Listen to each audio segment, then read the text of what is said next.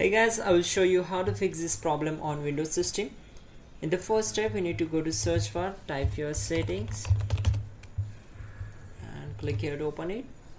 Once we're here, click on these three lines, go to find the settings in the search bar of settings and simply type your proxy.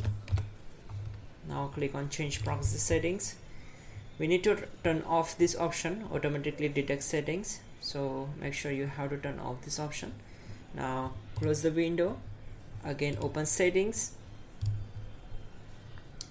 This time just uh, go to apps section and click on un uninstall install apps.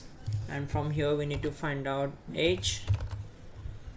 Now in the Microsoft Edge we need to click on the uh, these three dots. Click on modify and select as so this process will take a lot of time around five to six minutes to repair everything about the Microsoft Edge. So click on the repair button and we need to wait for it.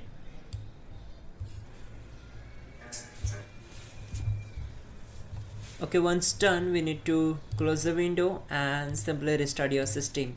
That's it guys. Your problem will be solved and you're good to go you can also check out our description link to fix this issue quickly and effectively. And yeah, don't forget to like the video. Please do subscribe the channel.